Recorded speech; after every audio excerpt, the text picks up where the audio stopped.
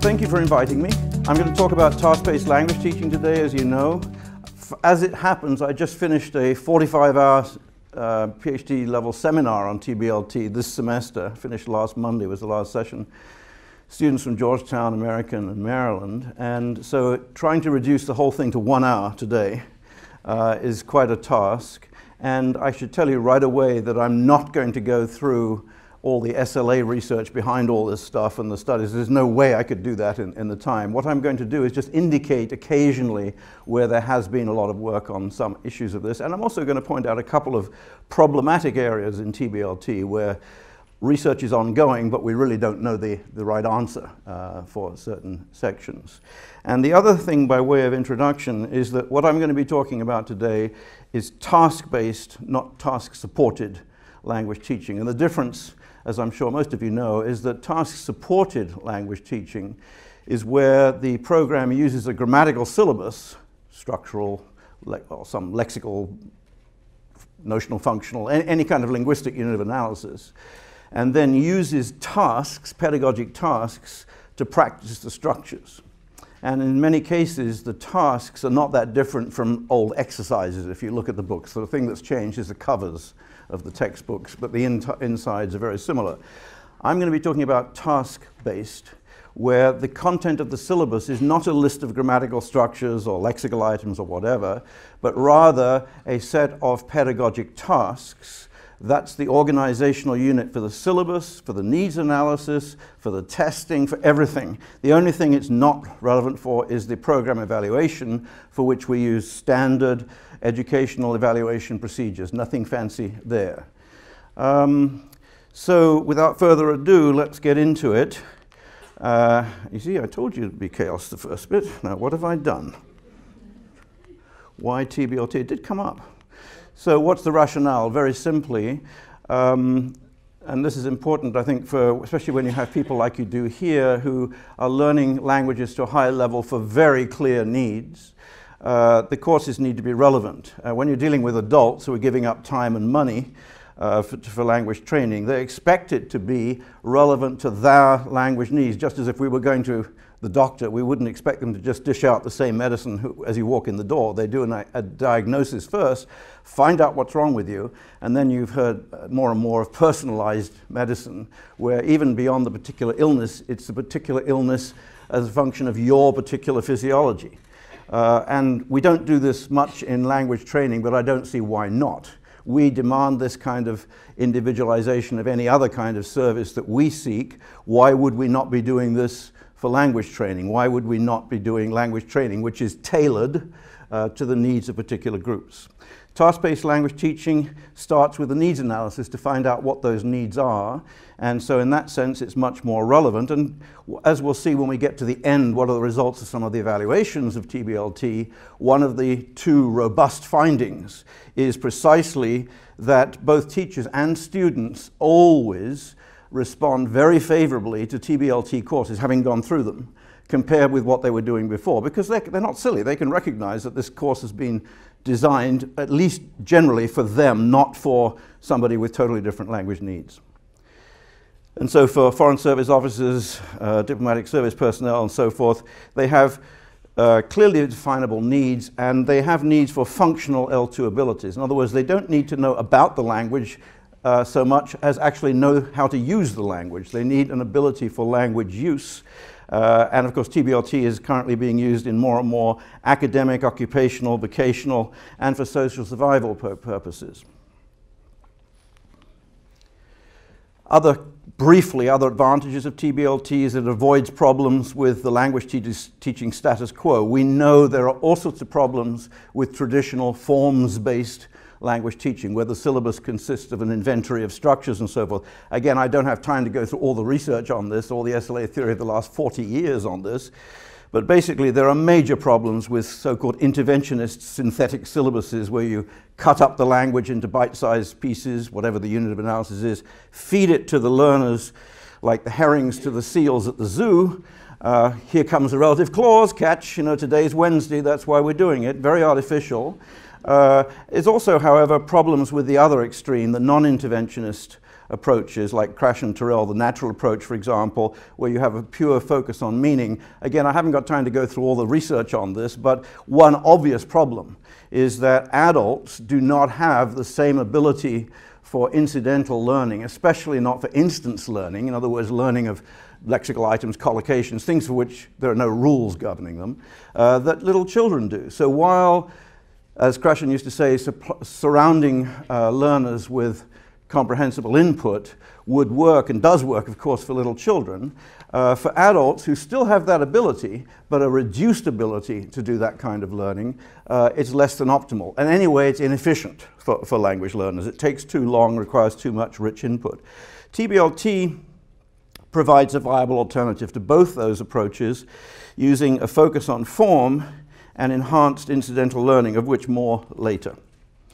Thirdly, TBLT is consistent with SLA research findings. It employs an analytic syllabus with focus on form. It encourages incidental as well as intentional learning. So incidental learning, like when a little child is playing with toys on the floor and is picking up language that he or she is hearing in the immediate environment.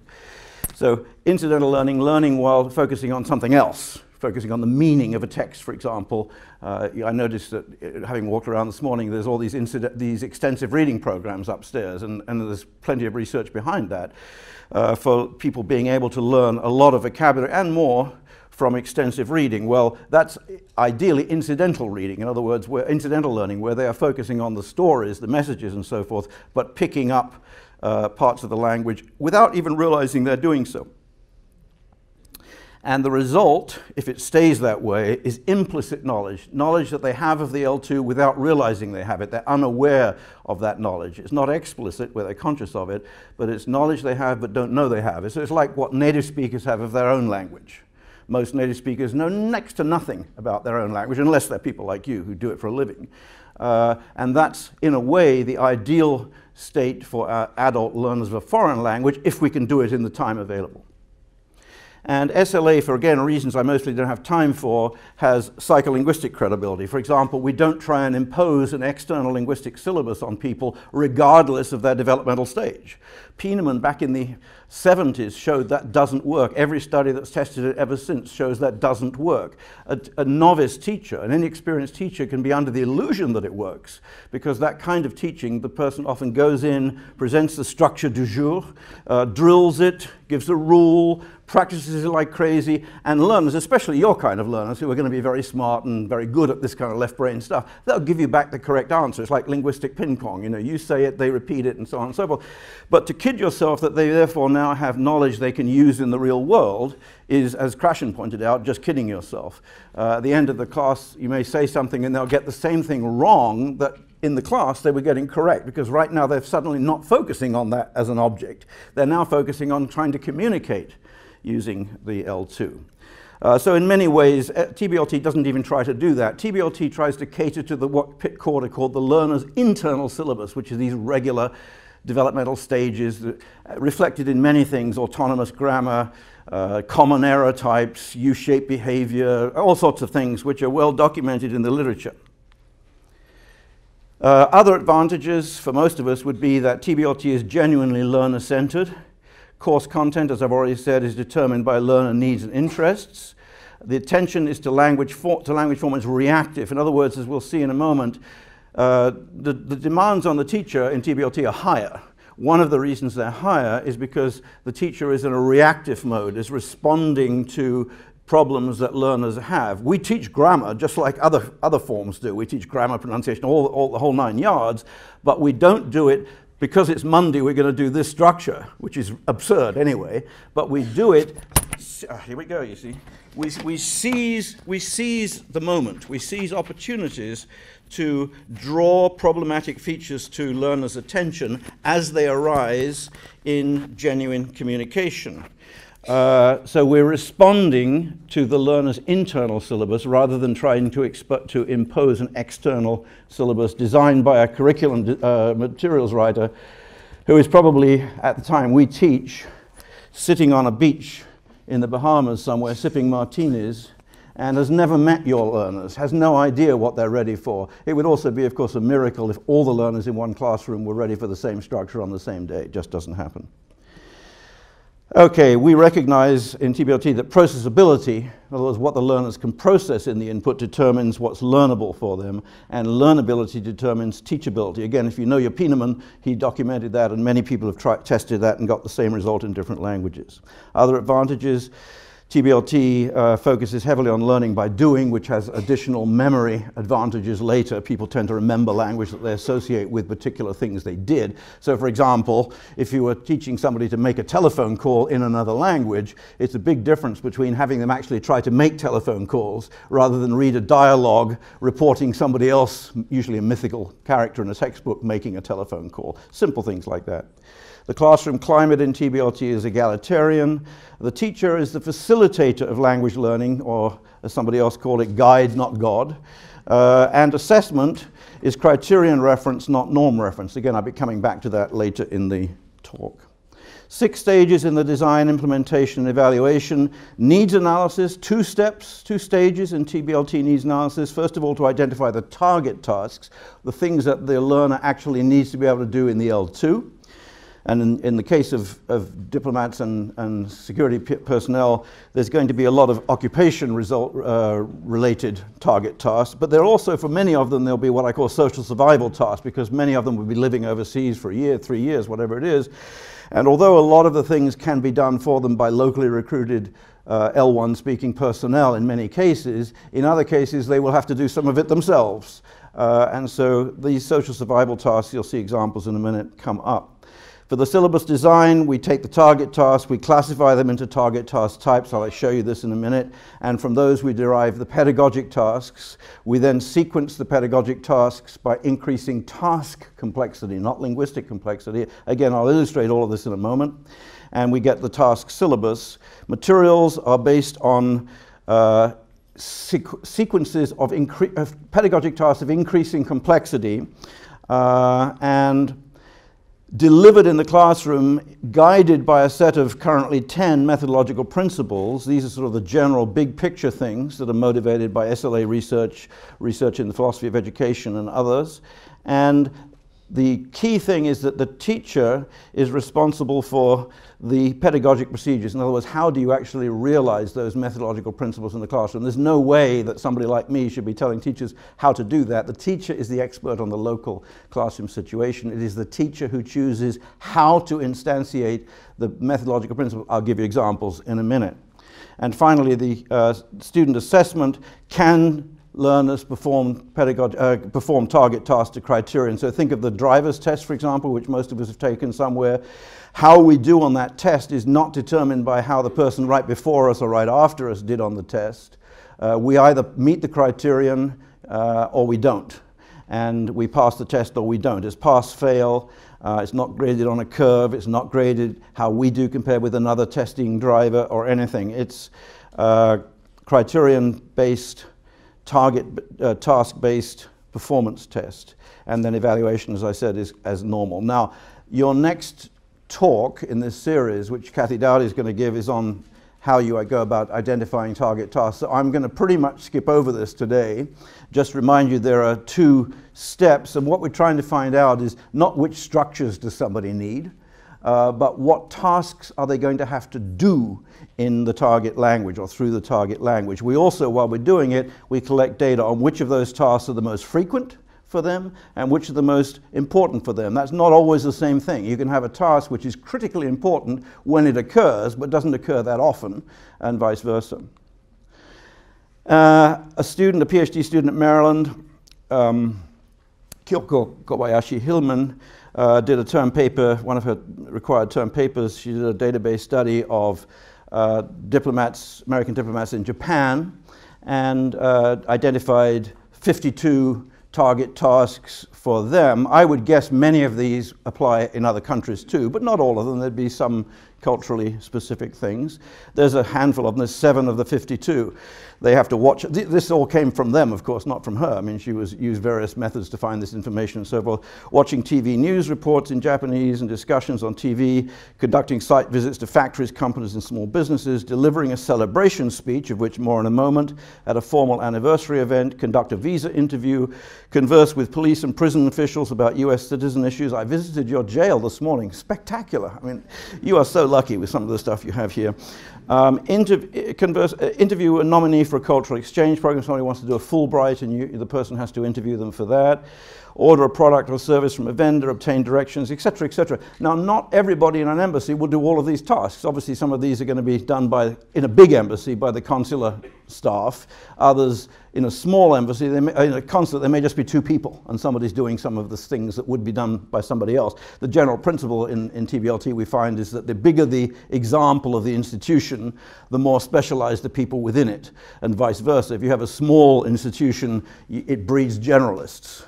Uh, but not time to go into all the examples of that today.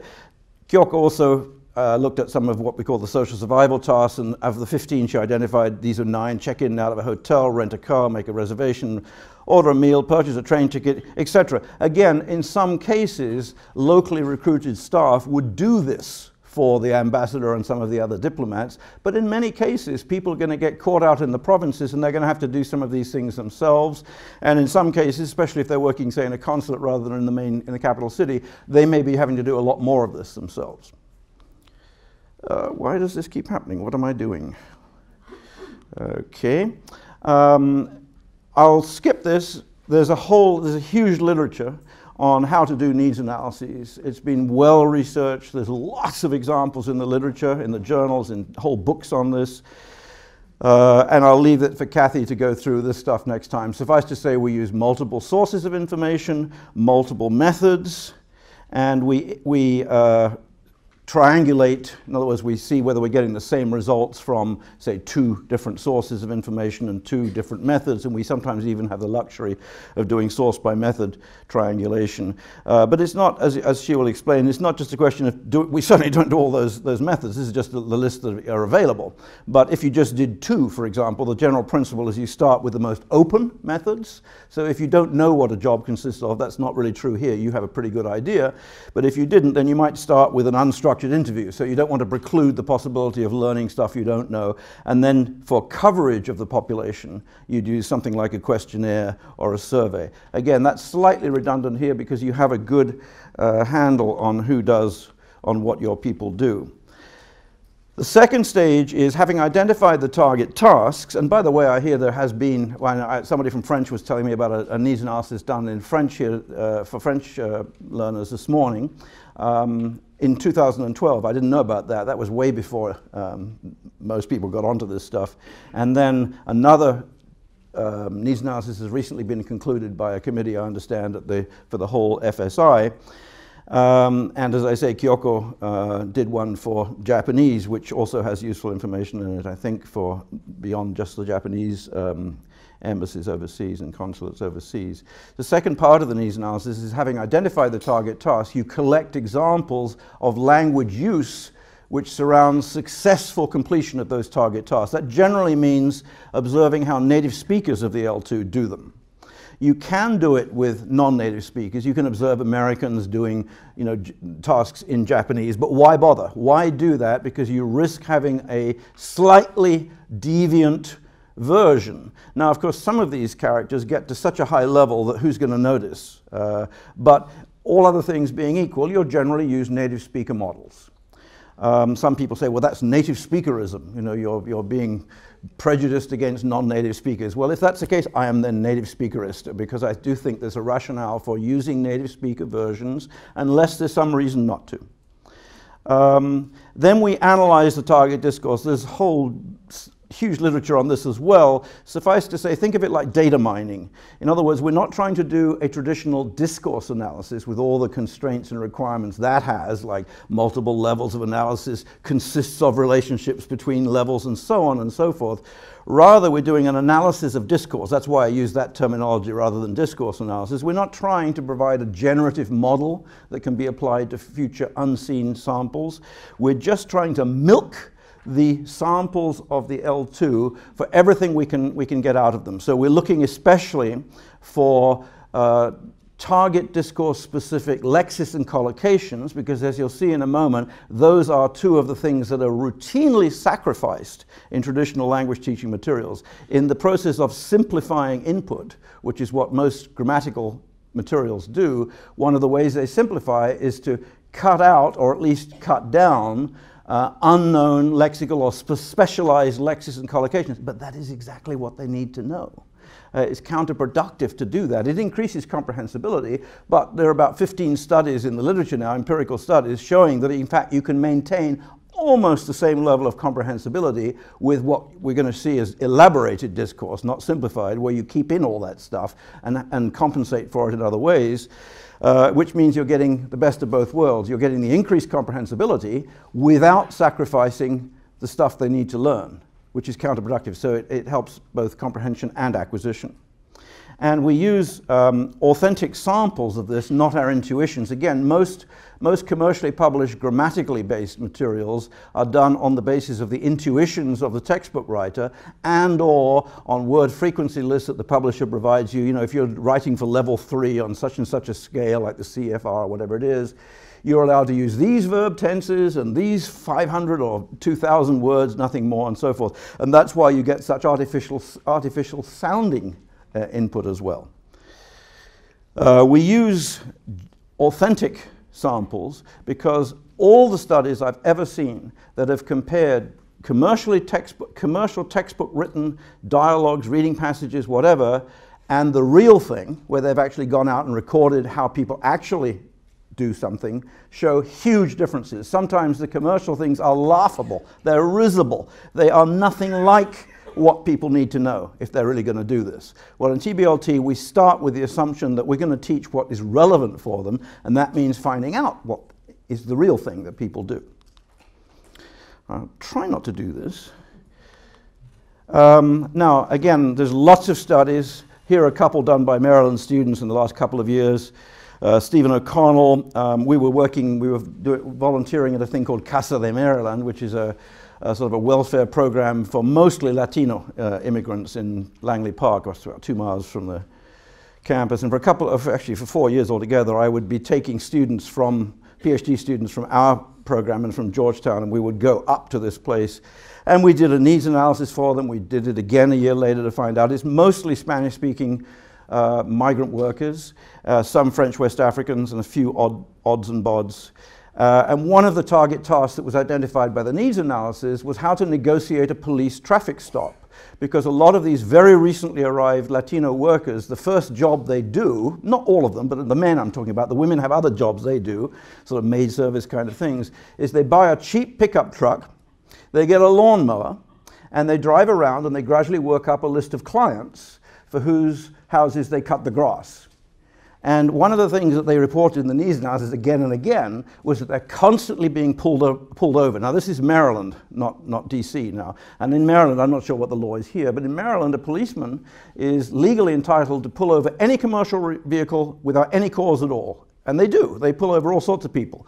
But a lot of these old beat up second or third hand pickup trucks have things wrong with them. So very often when they pull them over, it's because there's a missing tail light or something like that, or the driver went through a turn without signaling or all sorts of things like that. They pull them over, and you've got to imagine this. A lot of these people come from countries where dealing with the police is a no-no, because basically you're going to have to pay money. Uh, and you may not get anything except a lighter purse at the end of it. I've lived in some of these countries myself, and I can tell you that in one of them, all us gringos or foreigners anyway, we would travel around with money in our license because you know you're going to get pulled over and you know you've got to bribe the person. That's all they want. And so what happens is you give them the license, they take it out and they say, muy bien, Senor Long, very good, uh, Mr. Long, and the hand goes in the pocket. Muy bien, muchas gracias, que se vaya bien, you know, good Godspeed, you know, hope, hope things go well. And they're making their last three or four days of salary because it doesn't cover the whole month and you're on your way. That's how institutionalized it is. Even, it's even lexicalized in Mexican Spanish, for example. You know, they say, muerde no, they're biting today, meaning the police are pulling in people like crazy because it's the 28th of the month, the 29th, and the, the salary is, is finished. Now, you, you think, well, that's humorous, which it is, uh, but you've got to remember that a lot of these guys come from, say, Central America, other places where this is how it works, and they don't know that that's not how you deal with American policemen. In fact, if you start offering them money when they pull you over, you're in worse trouble than the, from the missing, head, missing tail light. And in fact, they don't know that you do not get out of the car. Whereas down there, you have to get out of the car and all the rest of it. So many things in doing a target task like this that are cultural background knowledge and so forth. Never mind the language, we'll come to that in a minute. So, having heard that this was a constant problem, and remember, they don't speak much English at all, these guys. And the police, a few police do have some Spanish, but as we found out, most of them don't. Uh, so, one of the target tasks for these people was negotiating a police traffic stop. And it's one of these things that isn't high, high frequency, but it happens to all of them. And when it happens, it's critically important. Um, so uh, Stephen O'Connell got ride-alongs, if you know what they are, where a lot of police departments encourage the general public to come and you know, drive with them to see what it's like and build relations. And so he did ride-alongs with three different police departments collected the data on how these things unfold. And then what we do in TBLT, and I'm using this because it's an English example so everybody can follow it, uh, is we find, we find, first of all, what are the moves, what are the stages in this speech event? And there's one on the board. Now, you've got a handout because I knew this wouldn't be big enough for people to read, right? On the handout, you, did everybody get a handout? Oh, you didn't? Okay, well, never mind. Can you read that roughly? you can see that what he found was that there were three different outcomes. Three different outcomes were possible. On the left, the policeman might issue a warning. In the middle, he might issue a repair order. And on the right, he issues a citation, which means you've either got to go to court and contest it, or you pay up you know, before that happens and so forth. And then there are various explanations he goes in. I've chosen the easiest one here just to show you. It's the one on the left where he basically goes back to his car. Uh, checks you out on, on the computer and so forth, and then comes back. And if you've got the handout, uh, there's some quite amusing stuff which I can't actually use because the dialogue's on the handout, not up here, because we thought it'd be too, too, too, uh, uh, too small for you to read. But you can see examples there of collocations that would typically be removed from a textbook dialogue of the same encounter, and the textbook dialogue would be very different from the real thing anyway. Now, here's one which Kyoko did for Japanese. One of the target tasks for diplomats in Japan was the dreaded celebration speech. And it's dreaded because those of you who work with languages like Korean, Japanese, and others where you have masses of politeness markers and particles all over the place, and it's just a nightmare, uh, one of the things that makes it a Category 4 language. Uh, are particularly important when you're doing these ceremonial duties. And a lot of American embassy people in Japan, and this is true in other countries, some other countries too, are constantly having to go to events where, for example, there's a friendship treaty or uh, some kind of cooperation agreement. And it's all very ritualized. And in Japanese, the language used is, is more important in a way than what you're saying. You're not really expected to say much. I hope I'm not offending anybody here, but a lot of it is Uh, people say there's no content to it. I mean, Japanese people say this about, they look at some of the speeches that we got. They look at it and they say, well, they're not actually saying anything. It's all the ritual, ritual greetings and you know, we're so delighted to be here and we thank the organization and we thank the people and, and so on and so forth. Well, what she did was she got, this is Kyoko, she got real examples of these things by native speakers of Japanese. And then she, I haven't got time to go through all of this, but in the rectangular boxes, she got the things which are obligatory moves in the celebration speech.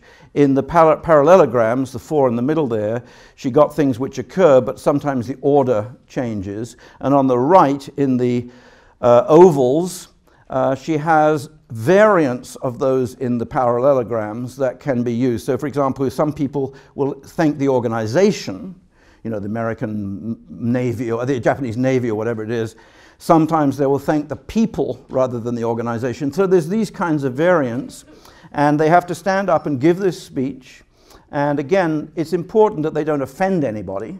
So the language used has to be just right. And there are, and so what Kyoko did when having worked out what the moves were, we then, as we, we like to do, we, we do inter-rater reliability on this. So we get another Japanese, in fact two in this case, who independently code the speeches to make sure that we're not making up the data. In other words, this was Kyoko's analysis, but then we see if other Japanese native speakers can replicate her analysis by being given the thing and asked to, you know, to, to, to analyze it.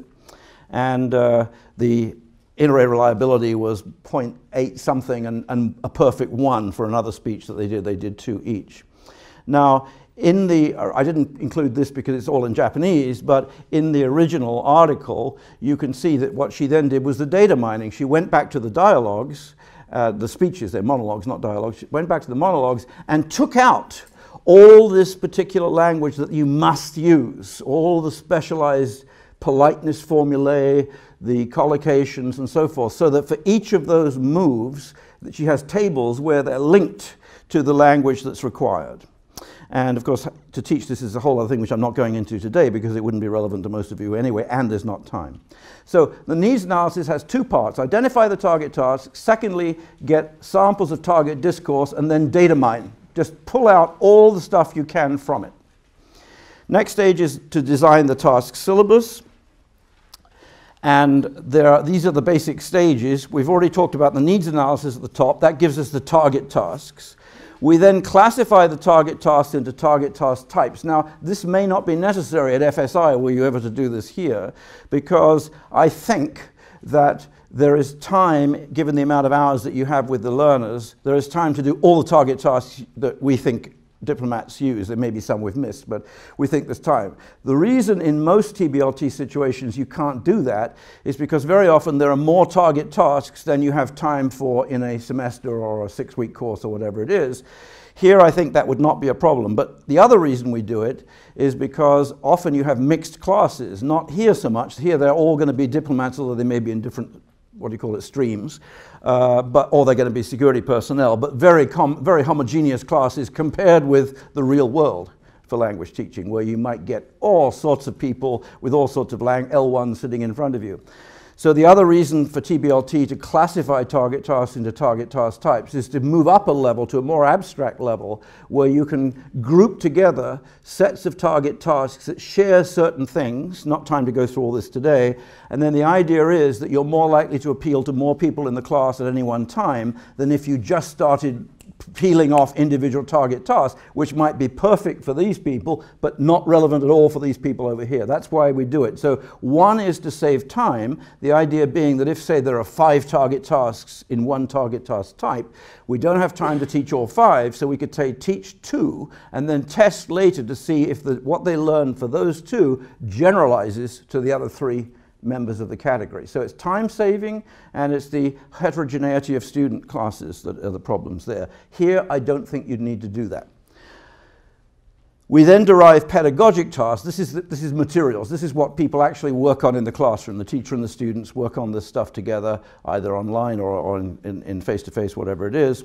And we sequence the tasks, the, excuse me, sequence the pedagogic tasks according to increasing task complexity. And here we hit upon the first area where still we're having problems. T TBLT is not a done deal. It's not a, it's certainly not a panacea. It doesn't solve all our problems.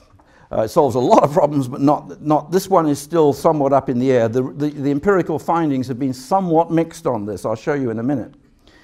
Uh, but just to give you an example, way back when I was working in Hawaii, University of Hawaii, we did a, a needs analysis of flight attendants, airline flight attendants. Some American companies at the time were employing native speakers of other languages because they thought that if you had, say, 300 passengers on a 747, wouldn't it be good if, and, and most of them didn't speak English, wouldn't it be good if at least one of the flight attendants spoke that language?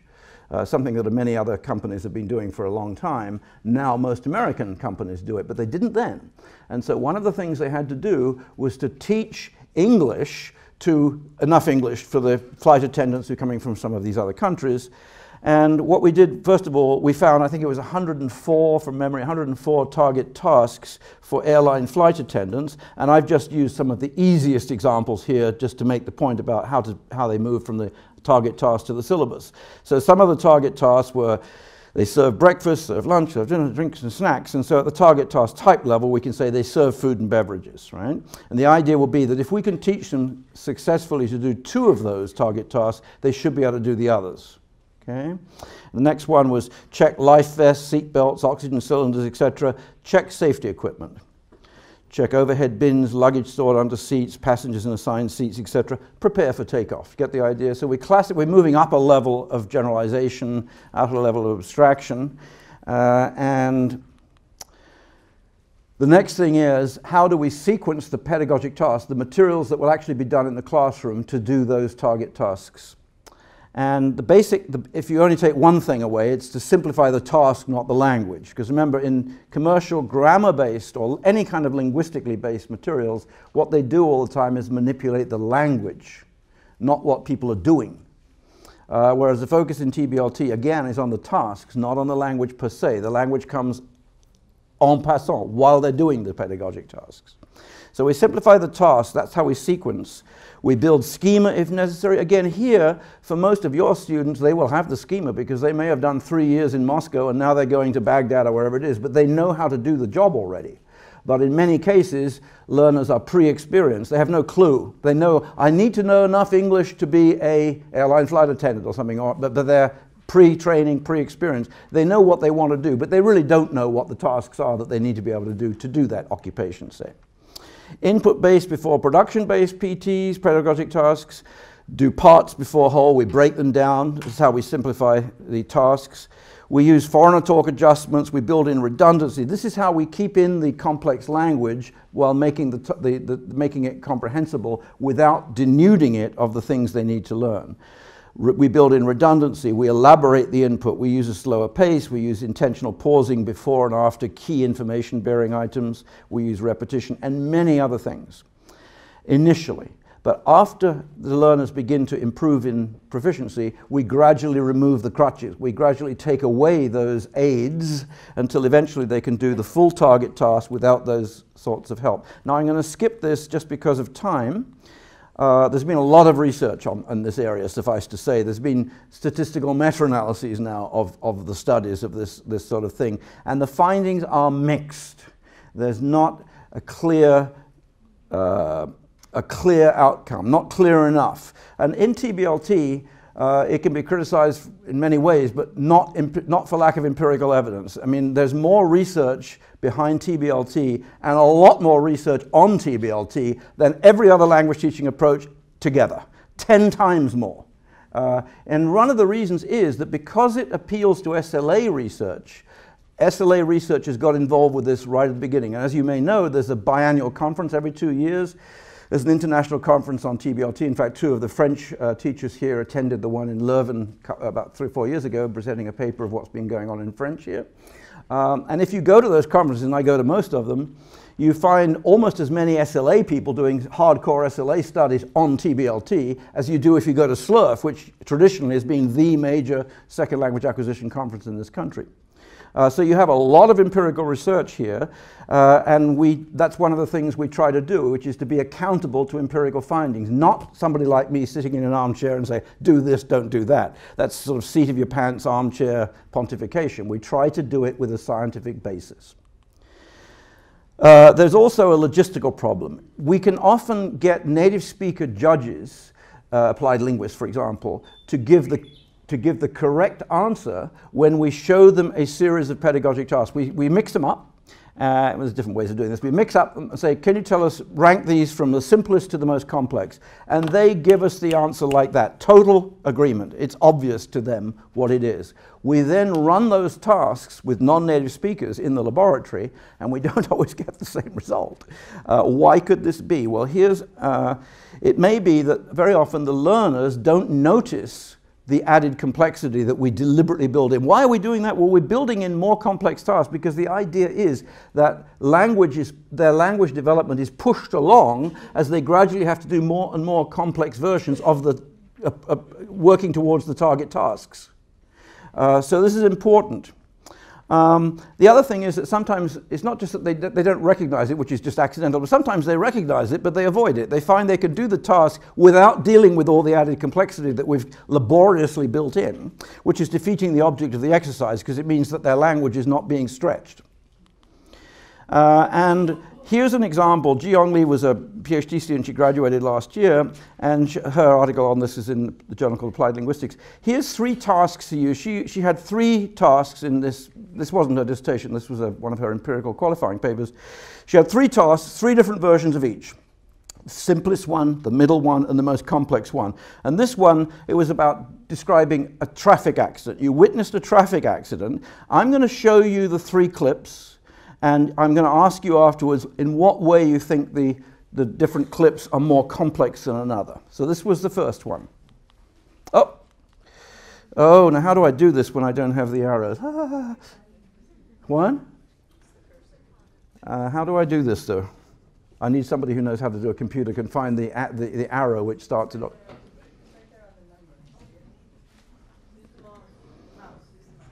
I don't have a mouse. I don't have a. Do I have a keyboard even? Oh, keyboard's under the. So I need to get hit that. Okay, good. Thank you. Thank you very much, Karen.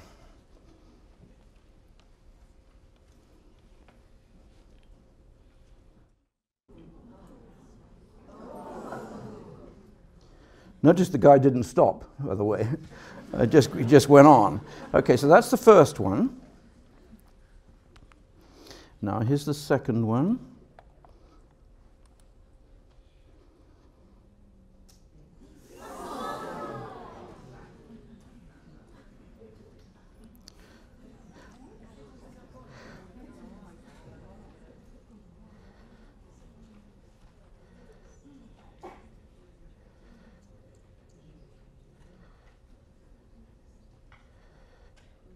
On YouTube, you can find masses of stuff you can use for language teaching, as I expect you've realized.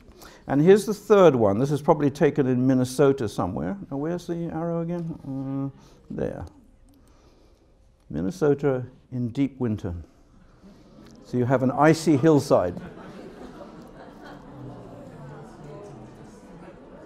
it gets worse.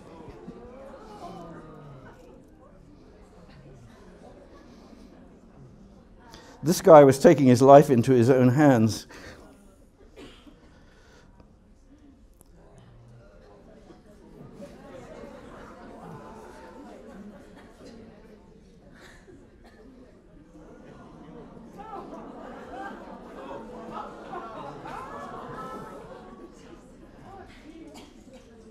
Okay, you get the idea. Now, of those three, which was the most complex and which was the least, and on what criteria were you making the judgment? How many cars How many cars? So the number of items or the number of elements? And so which was the simplest, do you think? One, two, or three? One because it had one vehicle, right? What about the other two?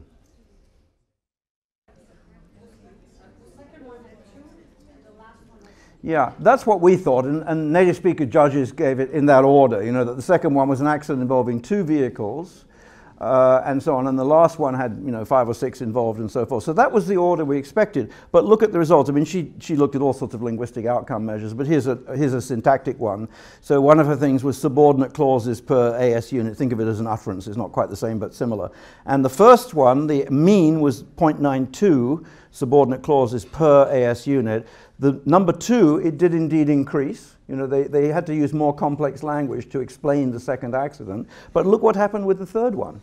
Uh, they, they, what did they do? Did they just not notice these other cars coming down the hill? Or they just said, oh, to hell with this, you know, this is getting too, too complicated. And they just forgot it. And in fact, what they did was what I just said. They didn't say to hell with it, but they did actually just ignore a lot of what happened in the number three. And this is one of the problems. In other words, we can come up with pretty ideas about how to increase complexity, but if it's not going to actually work in the classroom, we've got to find other ways of doing it. So what we've, and several studies, by the way, have got that, have found that problem.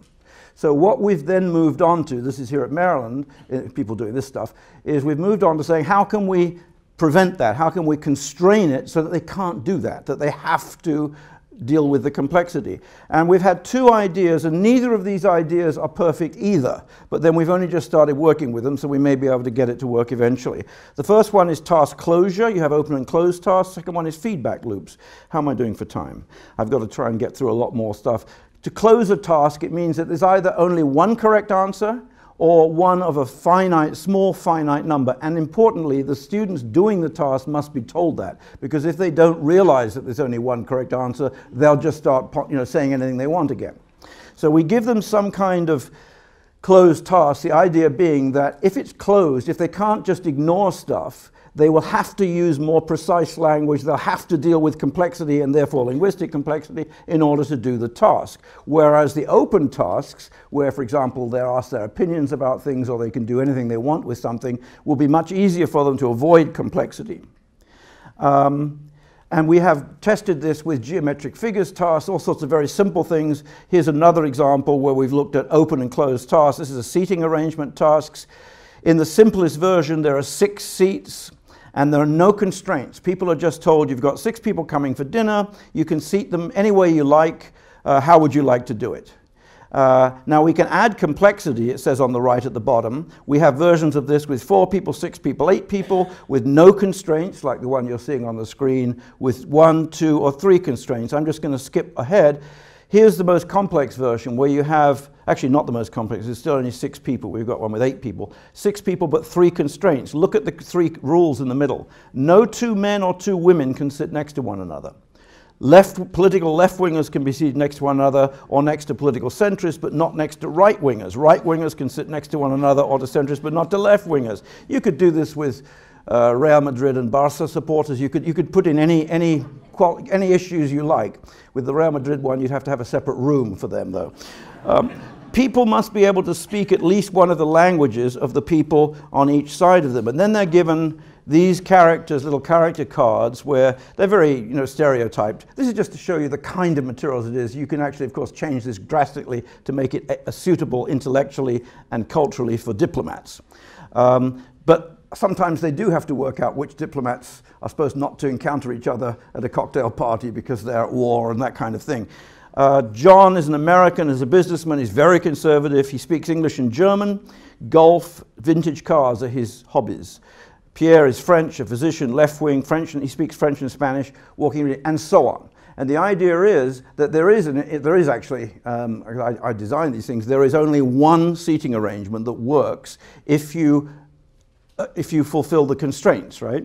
Now, the problem is still that although we know it works in theory, it's still possible for people just to ignore some of the constraints and say, well, we're going to set these two people next to each other, even though not, they don't speak a common language, right? In other words, again, they can just choose to ignore, you know, some of the constraints.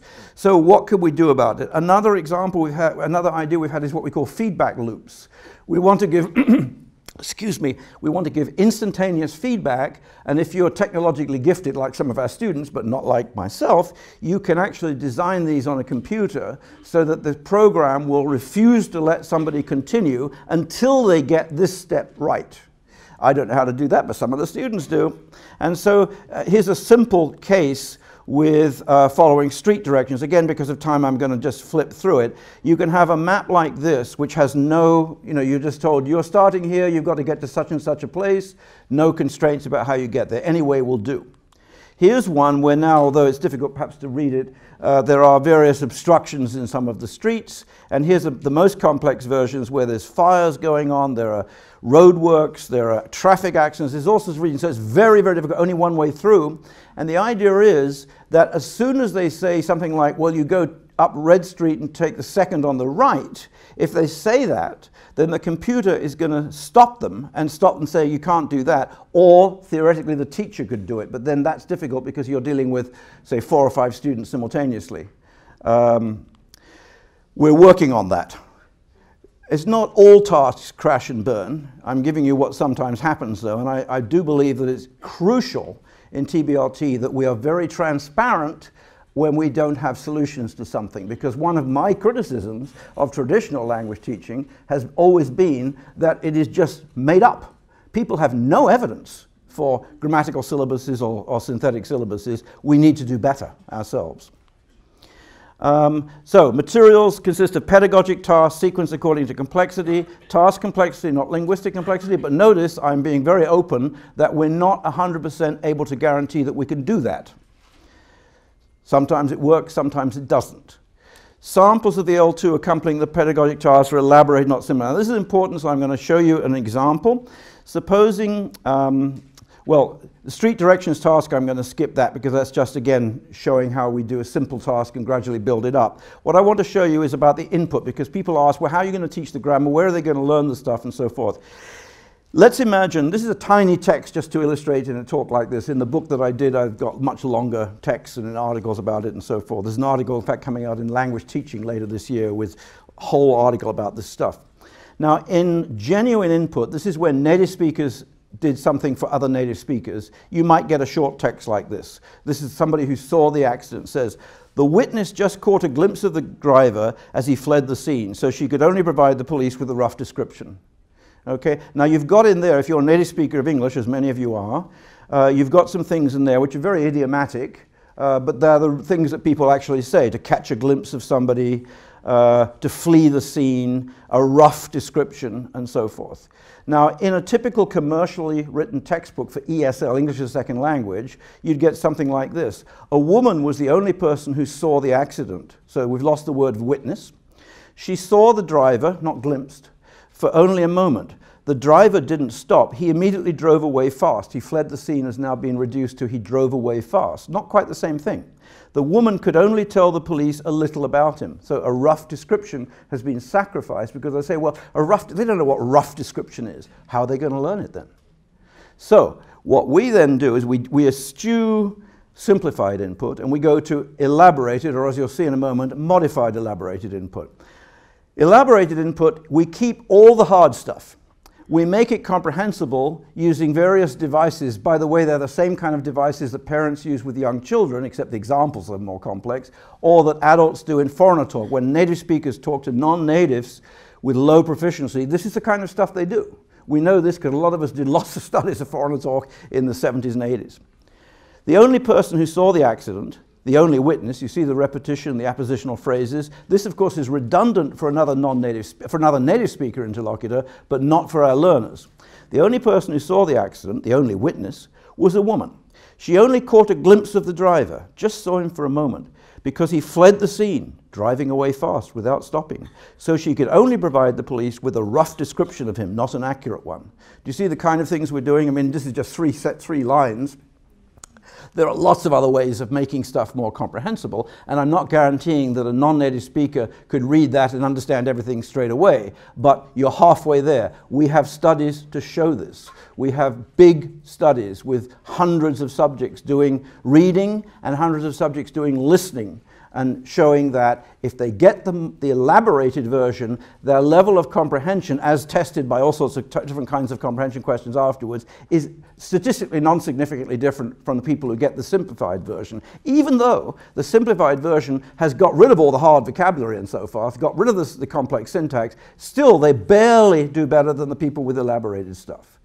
And uh, we now go one step more we use modified elaborated. So we take the elaborated passage and we cut it up because one of the problems with the elaborated passage is that the sentences become very long. They become even more complex by any traditional uh, complexity measure like Thorndike Lorge, that kind of thing, even more complex than the native speaker version. So we don't want that. Uh, we cut the sentences up so we keep, we keep all the same stuff, but we just divide the sentences. So now we're back to shorter sentences. The number of S nodes per sentence is now less than uh, the uh, native speaker or the elaborated. It's the same as the simplified. And that is the ideal. We do not, of course, have to go through these four stages when we're writing materials. We just write straight away in the, elaborated, the modified elaborated. We just go straight to, the, to what we want. I'm just showing you how we get there and the difference between the, the, the, the four different types. So um, in TBLT, the input that we give them is elab modified elaborated, so it's actually quite complex. They're going to be exposed to the things that they have to learn. And remember, if you're doing language and tasks for a specialized domain, such as diplomacy, such as embassy security, it is going to be specialized. It's no good pretending otherwise. It's no good saying, well, we're not going to touch the, the specific stuff, the specialized stuff. That's exactly what we have to do. And it's not just for diplomats, it's for any area. If you're dealing with dermatologists, you've got to deal with dermatology. It's no good talking to them about walks in the park, you know, cardboard characters in textbooks who have nothing to do with dermatology, and so on. Um, Methodology and pedagogy, I can do this very quickly because I want to leave 30 minutes for questions, uh, comments, or throwing things. Uh, methodology and pedagogy, we have 10 methodological principles. Now, there are 10 at the moment. It's a round number, but it's an accident that there are 10. Uh, these can change over time. Uh, if, if research results come in which put some into question, then we go back to the drawing board and we modify things. But right now, there are these 10, which are, have show, been reproduced in all sorts of papers and articles, not just by me. Uh, use task, not text, as the unit of analysis. Promote learning by doing. Elaborate input. Provide rich input Notice that in traditional language teaching, although I skipped all this at the beginning, the typical input from the teacher in the textbook is what we call impoverished input. It's just the same few lexical items illustrating sentence patterns, and they go again and again. And again, there's lots of empirical studies of classroom language use doing the different kinds of uh, teaching. We want rich input, lots of it, and we want to indu encourage inductive chunk learning. So for collocations, if those of you know anything about child language, I mean, the, the little children make very few errors with collocations because they're learning them as chunks. Um, adults, on the other hand, have huge problems with things like phrasal verbs. You know, am I going to put on the light, put off the light, switch on, switch off, switch out, switch into, and so on and so forth. They are, in many cases, trying to put together a verb and a preposition, or in collocations, why do they, if you say the government announced war on such and such a country, a native speaker will say, what, announced war? You don't announce war, you declare war. You know, they declared war on such a... There are all these collocations which native speakers know. They're not aware of them until you point it out to them, but they know right away what is native speaker English, in this case, or whatever languages you teach, and what is not. Now, those collocations are exactly what advanced learning is mostly about. Now, you guys are teaching people up to level 3 3, I think, in, in the dipl diplomat side of things anyway. That's advanced. Um, and most people who are at 2 and above already know the grammar. Now, yes, they still make an occasional mistake on a very low frequency, rare rule. So in, in English, you can get people too, too, who are saying things like, rarely he had seen such a terrible accident. Whereas, of course, we all know that it should be, rarely had he seen, right? Uh, rarely had he seen. So after you get these, this negative polarity stuff, if you front an, one of these kind of adverbs, you're supposed to invert. It's a hangover from some old German rule, I think. You get that kind of thing still at that level, but basic syntax is down. Basic morphology is down. Yes, there'll be some still tricky things with, say, Japanese particles or Korean particles, something like that, but not much. What they don't know at advanced levels is their vocabulary is always much smaller than they would like it to be, and much smaller than native speakers, and their knowledge of collocations is often pretty bad still. So a lot of advanced learning is precisely needs to focus on lexis and collocations and specialized lexis and collocations, by which we mean the kind of things, a pity, for those of you who have the, have the, trans, the uh, handout, if you look, not now, but if you look later, if you're interested, at the police traffic stop, and that's a simple example, even in the policeman, when he, gives, when he speaks to the driver and says, I'm just giving you a warning, there are two or three collocations in there that you'd never find in a regular textbook. And if you go to more complex tasks, you'll find lots of examples of things which are cut out of commercial materials. Um, focus on form, in other words, we're responding to grammatical problems. We elaborate on things that students say and write. We feed in stuff. And the advantage of that is if they say something in class and they make an error in it, and that's the moment you teach something, you feed in the correct answer, either explicitly, you know, with traditional error correction of some kind, error correction, because it often it doesn't correct at all, but we think it does, or implicitly with corrective recast, which is the way lots of the research is supporting, not perfect, but supporting, uh, without changing the focus onto forms, but continuing the focus on communication. Whichever way we do it, um, we are doing something where the speaker, who, the learner who's just made the error, already knows what he or she was trying to say, so when we give the correct version right back, hopefully in a communicative mode still, talking upon, so it, I'll just make up an example of, you're, you're, teaching somebody about when Napoleon invaded Russia, and, it's a, it, and it, we imagine it's being done in English. Uh, and so the, the, the, people have read a story or whatever it is, they've seen a video or a film, and the teacher asks the students, why did, uh, when, did, uh, when did Napoleon invade Russia? And the student says, uh, Napoleon invade in whatever date it was. And then the teacher might say, uh, that's right, he invaded in whatever it was and is now providing the, the missing id, right, the invaded. Of course, he could do, he could resort to more explicit stuff. 1,000 volts under the fingernails, slapping of the face, don't ever make that mistake again, I, I will never, etc., etc.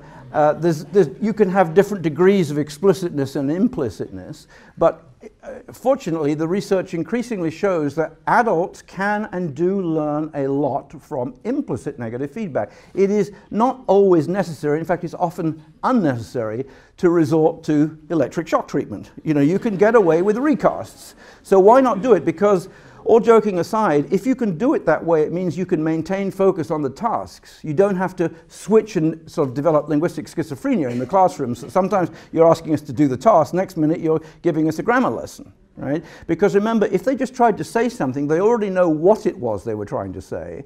They can hold in short-term memory long enough to compare their output with your immediate input. And it's called cognitive comparison in the L1 literature. They can notice the difference much of the time. Doesn't mean to say they will now get it right every time, but they're on the way. And by the way, if you give them the electric shock treatment, doesn't mean to say they're going to get it right you know, immediately either. Uh, the general research on explicit versus implicit instruction or feedback shows that although explicit stuff gets an immediate bump in performance on an immediate post-test, that improvement often deteriorates, dissipates, it just declines over time. So if there's a delayed post-test in these studies, the implicit treatment, on the other hand, whether it's implicit instruction or implicit feedback, not only doesn't decline, it actually improves over time. And the current explanation, and I admit there's some speculation involved in this, is that with implicit instruction or implicit feedback, there's greater depth of processing. And therefore, it's like the learner has digested the stuff at a more serious or deeper level, and therefore, that's why it's like these sleep studies, you know, when babies learn something and then they go to sleep, they're better at it the next day. Or when students are cramming for an exam, they do the same thing. They wake up the next morning and they, learn, they know more, more thing better. The idea is that that's why the implicit stuff tends to be more durable. And again, there are statistical two statistical meta-analyses of this. Uh, Goo and Mackey, 2007, uh, Shaofeng Li, 2010 in language learning, for those of you who read the journals, showing this durability, greater durability of what is learned implicitly over explicitly. Now that doesn't mean to say, and there's other things there, provide negative feedback, of course, respect learners, etc., etc., uh, which I don't have time for, but again, in, in various places there's extensive reviews of the literature to support these things. Now, Pedagogic procedures, unlike methodological principles, are not supposed to be universal. This is where the teacher comes in and makes the decisions because only you know, your students, that particular moment in the class, do you need to use more explicit feedback for a particular linguistic target or for a particular learner, depending if you've got high, low aptitude learners, if it's a salient, perceptually salient or non-salient linguistic target and so forth. And you know that, nobody else knows that. You have to adjust. I think teaching in task-based language teaching is more demanding of the teacher than teaching in a traditional thing where you're just going through the exercises one after another. I think it's more, you have to be more on your feet, so, or even if you're sitting down, you have to be more ready to you know, not to improvise, but to recognize in a way you're doing instant diagnosis of the problems very often. And most of you are experienced teachers. I, I know that from knowing something about how it's FSI is staffed. You're not teaching the language for the first time. You, you get a very good sense of where the problems are, what they're likely to get wrong, and so forth. You can often be right ready with the thing. The difference is that you didn't walk in that morning and write up a, an example of a, of a, Korean particle on the blackboard and say, this is used, and then give them a grammatical explanation and then start drilling it. That's not what happened. Because there's no reason to believe that the students in the class are ready for it anyway on that particular day, just because it's the next thing in a textbook. No, you're responding to their attempt to say something when they're missing that obligatory particle, if indeed it is obligatory. Uh, so the PPs, the pedagogic procedures, are very much the teacher's responsibility to choose. And there's a huge range of things. So just to give um, an example, if you had, say, one of the methodological principles is provide negative feedback, which is supported by research in general psychology, research in language acquisition, research in education, if you were going to do this, we've already said you could go from the implicit end of the spectrum, recast, clarification requests, and on, to the explicit, where you give grammatical rules of thumb, prompts, elicits, etc. And I would suggest there's no clear evidence for this, but there are three studies in the literature which suggest that the more salient, more perceptually salient, or if you like, noticeable the problem, the more you can rely on implicit negative feedback. But the less perceptually salient something is, the more you're probably going to have to move along the spectrum and use more explicit things. So, for example, again, I'm using English examples. If you have something like adverb placement, he liked very much Barcelona, then that's something that you should be able to get away with either with implicit negative feedback because it's so salient, it's a free morpheme, it bears meaning, etc., etc. It's got all the good features, or even with uh, indirect negative feedback, you just, you know, they never hear support for this. You don't even have to intervene at all. They just will drop that idea. Because, of course, languages like French, Spanish, Japanese, and so on, you can do that. You've got free word order. You can put the adverbs in any way you like, basically. Uh, but in English, you can only say, um, he likes Barcelona very much, or he very much likes, but you can't do he likes very much. That's ungrammatical. So if they are a speaker of a language that allows that, and they're now moving to a language which doesn't, this comes from an argument by Lydia White, by the way, uh, then you're going to get an error. And the question is, how do you intervene, or do you even have to intervene, given what kind of error it is? Whereas, look across the other side, he liked very much Barcelona. You've got a different error in there as well. He likes, and the S is missing. Now, that's got all the hallmarks of a problem, problematic, non salient linguistic target. It doesn't carry meaning, it's totally redundant. Many languages don't even mark that kind of uh, thing. It has no value, really. Um, English is a weird language. I mean, we know that by now. And so, there, if, if it's important, you're probably going to have to intervene with some, being a bit more he- heavy handed. You know, you're going to have to be more explicit. So, but that's the kind of decision which the teacher has to decide on. So, to summarize, grammar based or task based language teaching in um, grammar-based language teaching and what's called PPP, present, practice, produce, uh, sort of the drill kind, audio-lingual kind of stuff. The L2 is the object of instruction. It's what the, the class is about the language. And learning is intentional. The people are sitting there trying to learn particular bits of the language, and the aim and the product is explicit knowledge. They know the rule, or they know at least the rule like statistical pattern. TBLT is the opposite. Language is the medium of instruction, just as it is in immersion education, for example, study abroad programs ideally. Enhanced incidental learning and implicit knowledge. Again, I wish I had more time to talk about, say, enhanced incidental learning. I don't today. To summarize, if you compare them, grammar-based down the left, TBLT down the right. Language is object, communication. Structure is the unit of analysis, pedagogic task. I'll let you read those yourself. No needs analysis, notice, for grammar-based language teaching. I mean, they just, everybody gets the same, the same program, the same course. Doesn't matter why they're learning, they all get the same book. It's chosen before you even meet the students. Uh, makes no sense.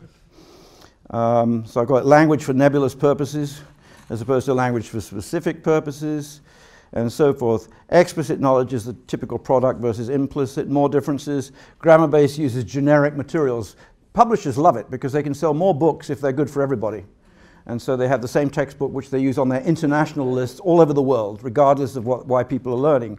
Whereas with TBLT, the materials are usually written for a particular program. And if you have something like FSI, where you have stable throughput, in other words, you know that not only have you got these guys or gals who are learning such and such a language for 24 weeks, 64 weeks, whatever it is, you're going to have more of them next year, more of them the year after, and so forth. So if you put in the heavy lifting at the beginning to do the needs analysis, which I think has already been done, in fact, here, and then to produce the materials and so forth, you're not, you're not just producing it for the first generation of people doing that language, but for many generations to come.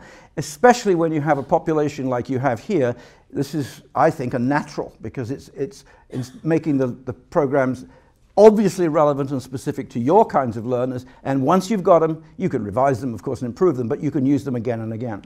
It's not like, say, ESL in this country, where the people who sit in front of you from one semester to the next are from different countries, from different, I mean, different occupations. They're all doing it for different reasons. It's much more hard, it's much harder to teach. Uh, the textbook is in control in grammar based, the teacher is in control in task based, and the teacher and the materials writer. By the way, it's not the, I should stress this, it's not the job of the classroom teacher to do the needs analysis or to write the materials or write the tests. That's the job of your curriculum units, your testing units, the institution, which you have here. Unlike many language programs, you have a huge infrastructure here. You've also got incredible facilities. Uh, I can't believe that. It's like going into a very, very posh Waikiki Hotel when you walk up in, in, in Building F. Um, and finally, I'd say there's vanishingly little research, which means no research, in support of most grammar based approaches. There's a lot of research support for most aspects, not all, of TBLT. There are still a couple of problematic areas. And I can pretty much wind up here because student assessment, I think John Norris is coming to do that. And if he is, you can't get anybody better anyway. He's superb at this stuff knows TBLT back to front and is very, very good at testing. He works at ETS now. Um, and the, the, this is one of the hardest things for traditionally trained teachers to get their heads around because the, the idea with task-based testing is can they do the task? Can you pass the driver's test or can't you?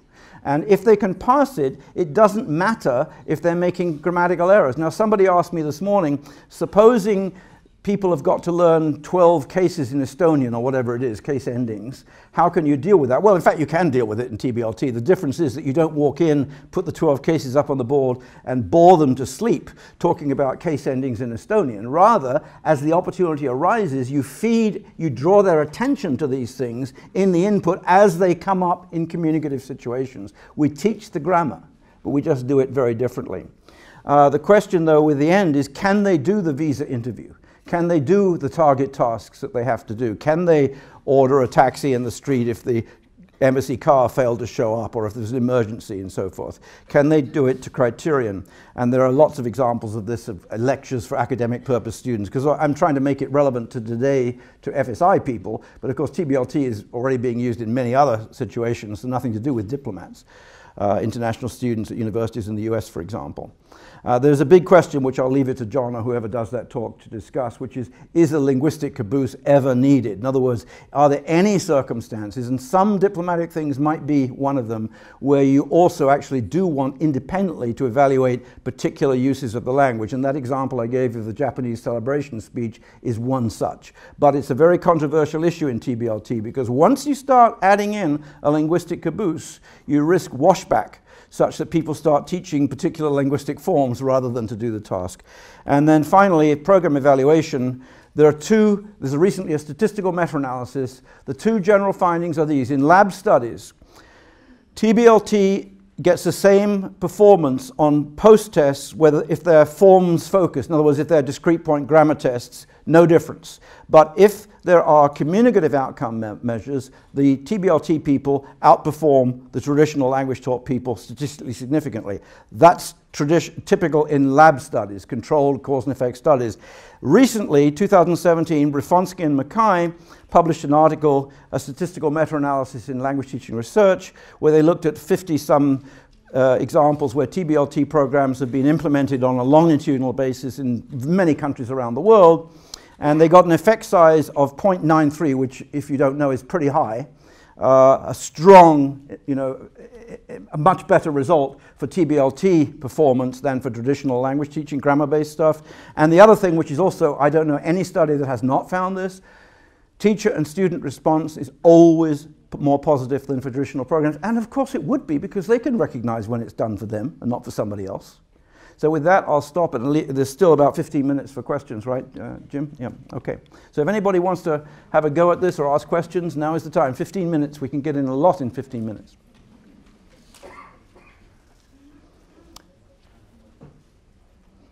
I don't know your name, so I'm just going to have to point. The lady there.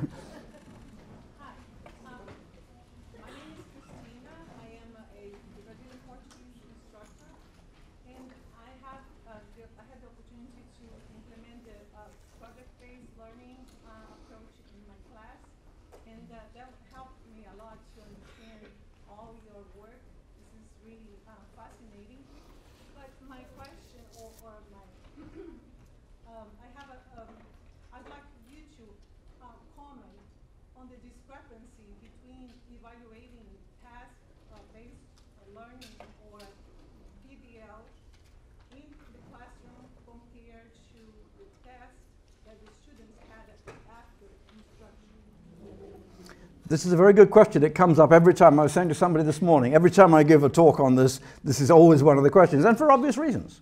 Uh, so here, for example, your people have to pass the FSI test, and it's then translated into ILR levels of 3, 3, or whatever it is that they have to do. Uh, and there are much worse examples than that. I mean, there are countries like Japan, Korea, China, and so forth, where the English test at the end of high school, which is more like an IQ test than an English test, is crucial for deciding which university they can get into and so forth. And those tests are very, very much forms focused. So my answer is that TBLT itself cannot solve this problem. Uh, the problem lies in, well, not, let's don't even call it an emotive word like problem. Let's just say that the decision is made by the institution, in this case the United States government, or at least the Foreign Service Institute, to continue to use a particular test which may be very interesting to people, uh, but in fact does not tell you at all whether people can do a job or not. Uh, nobody has ever said, well, can people, can people uh, can people, and this is not unique to FSI, this is true of DLI and other places I've you know, been to and so on, uh, other agencies around this area, uh, they all have the same problem. And that is that even if somebody gets to say 2 plus on a particular test, uh, it doesn't necessarily mean that they will be able to go to Beijing or wherever it is and read technical reports on, say, automobile production in, Shang in Shanghai and write the gist in English. It, it, it, obviously, somebody who's two plus is probably going to be better at it than somebody who's two or one plus, but no guarantee. If you do as I do, you work in universities most of your career, you are used to having international students coming in, lots of them over time, and some of the ones who know more grammar than you do can't understand, they couldn't follow today's talk, for example. They just don't have any implicit knowledge at all. They just can't handle the speed of delivery and so forth. And then you get other people in the class whose scores on the TOEFL or IELTS or whatever it is were terrible, but they have no problem at all with this. In other words, what I'm saying is there's often a big mismatch between knowledge about, in this case, English or whatever it is, and ability to use English, right, for all sorts of things. So the problem I have with all those kinds of institutionalized tests, and it's not just government stuff, it's in, you know, all the uh, universities use TOEFL, IELTS, and so on and so forth.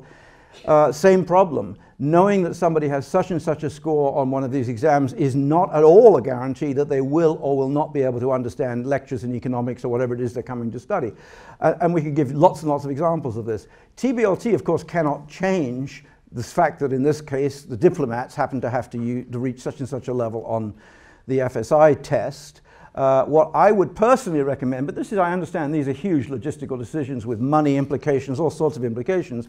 What I would suggest is that if they have to keep doing the regular test and get an ILR rating because salary may be tied to it and you know, they get an increase of 600 a month, whatever it is, if they keep, get to and then maintain a particular level, okay, let them do it. But I would also suggest that a, a parallel, I, mean, I may be, this may be absolutely outrageous thing to say, um, and I'll be shot afterwards, but I would, I would say, why, why not have a second test which actually tests people's ability to do the job that they're going to go out to do in the real world?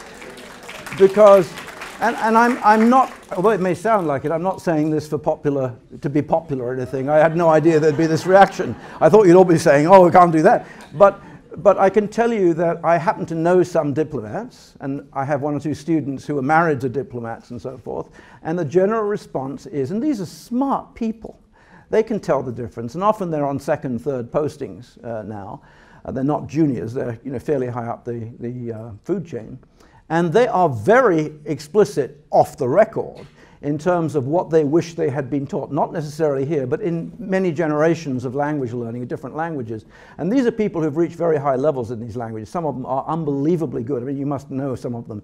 They're unbelievably good at category four languages, and they know two of them or three of them. And I'm not talking just about FSI, I'm talking about people at some of the intelligence agencies and so on. Unbelievably good. And yet, they recognize very often that what they know is not actually what they need to know to do their jobs. Now, many of them are so smart that they can do it anyway. You know, they find other ways around it. But they often come up with things like, why don't you teach us, you know, the things we actually are going to need to do in, in the field, especially first-time postings, you know, people who are suddenly faced with what the real job consists of. Now, I, I do not have a solution for that, but I would say that the, the literature on experimental work, you know, including classroom studies, where people have evaluated university courses for a semester or a year taught with some kind of completely communicative, for example, the natural approach, Krashen and Terrell. There's a big study in Modern Language Journal, I think, going back about 15, 20 years, where I think six classes of Spanish were taught using natural approach, six classes were taught using I'm a book, you're a book, yesterday was a book, today is a book, you know, and so on.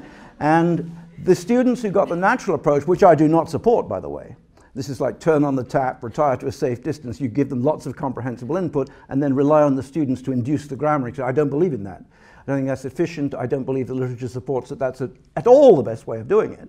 But those people outperform the people who got the traditional language course. I know I can do better with enhanced incidental learning. You need to speed things up. People can't just sit there and learn this stuff over a long time. You need to intervene and, and, you know, you, and draw attention to things that they're not going to notice maybe ever just from comprehensible input. And it's not my word for this. Look at the research on French immersion in Canada. Merrill Swain, people like that have shown for decades that people who just get uh, immersion, even full time from the age of, say, six or seven or eight or nine until they graduated 18 from high school, they are often, the best of them, are statistically non significantly different in receptive skills, listening and reading, from monolingual French age peers, people from you know, deep, deep Quebec. They're very, very good, no cost to their other subjects, by the way. But on productive skills, so speaking and writing, they are still making, I quote from Merrill Swain, 1991, making a wide range of basic morphosyntactic errors, unquote. In other words, they are still making errors with things that they have heard literally millions of examples of because they've had all their teaching in French for year after year after year, all their subjects, and yet they're still making mistakes because they just haven't, in many cases, even noticed the problem you know, silent S's in their writing, that kind of thing. So I think, you know, it's well known that that kind of approach is not adequate. But notice it's better than traditional language teaching. The experimental studies, the classroom studies support that, and the studies we have of TBLT support that. So it doesn't, doesn't answer your question, I'm afraid, uh, but, I, but, I, but I, think, I think that to solve the problem of these big, nasty exams lurking in the long grass, you have got to deal with the institution uh, or the education system. And the Japanese government, to its credit, has recognized this and they are now in the process of modifying these exams. My name is Carlos Parra from the Spanish department. Uh, you mentioned the difference between somebody learning uh, the language to be placed for the first time overseas. I wonder if you have come across any specific evidence in your in the studies and research uh, of the importance of targeting this particular population, meaning that the experience that the diplomat has certainly helps and uh, learning the tasks that he already knows he will have to perform as opposed to those who are new to the job. Very good question.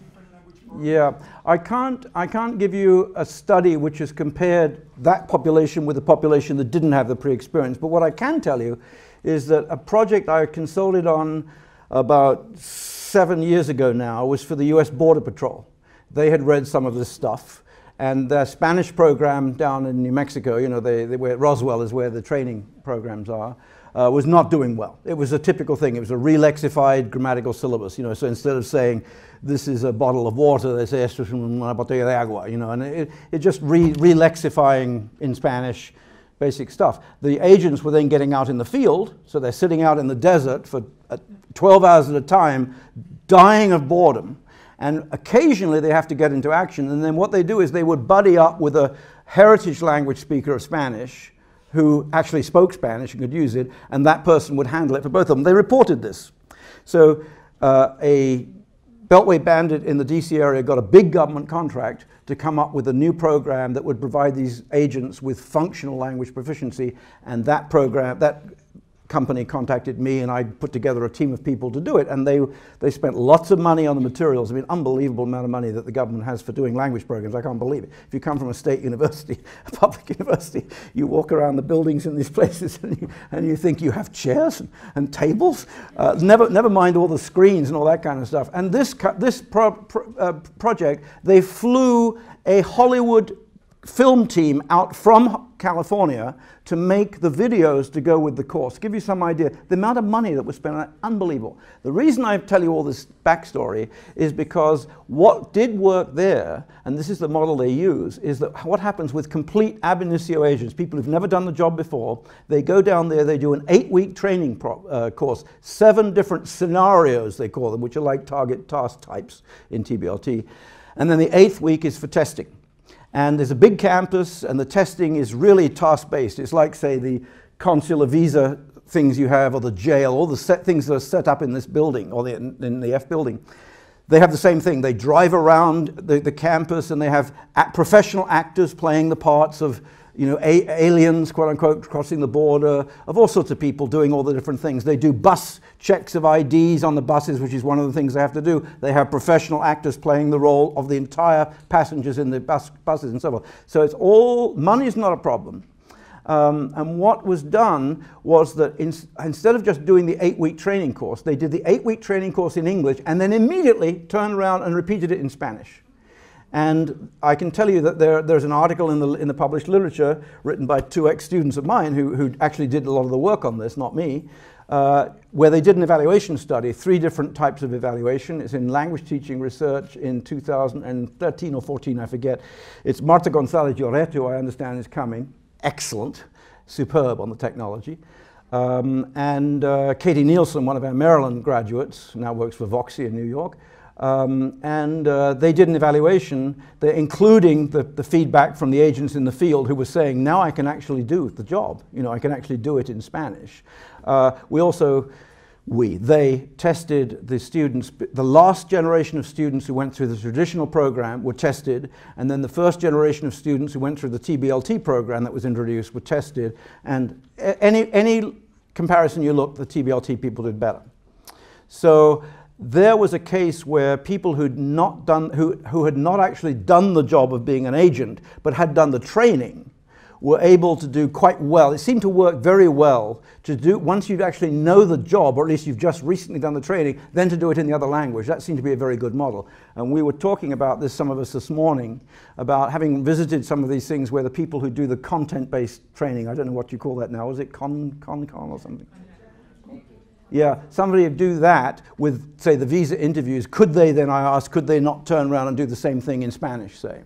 Uh, and I understand that there are delicate areas that you can't start making decisions. You can't train people to make decisions about substantive issues in the language program. But there are other ways perhaps around this. Um, I think that would be a very viable model. I can't point to a study, certainly not of diplomats, I can't point to a study where somebody has compared people who have done the training versus people who've not done the job who then both get the same program. I, I don't know of any, anything like that. There is a lot of research on TBLT, masses of studies, masses. There are 20 to 30 books on TBLT now. Every time you open a journal, any of the mainstream journals, there's usually at least one article about it.